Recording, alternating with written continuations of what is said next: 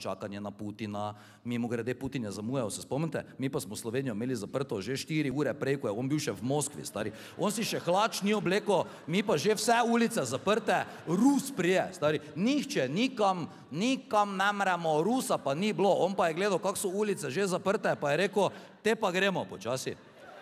In ampak mi smo imeli zaprto, ne, ker mogoče se s temi ukrepi res mogoče malo pretirava, glej, ker jaz sem prepričan, da če bi Vladimir Putin prišel v Maribor, pa bi se spohodil, sprehodil po Koroški ulici, veš, to ti ulici, ki niti sam ne veš, kako bi skozi njo šel, ali je za pecikle, ali je za pešce, ali je za bika prvezati, ali je za avte, ali se gre tja, ali se gre tja, ali se gre gor, ali se gre dol, ali kam se gre, skratka, če bi Vladimir, oh yeah, brothers and sisters, glej, če bi Vladimir Putin prišel v Maribor, jaz ti garantiram, da mu nihče ne bi naredil nič.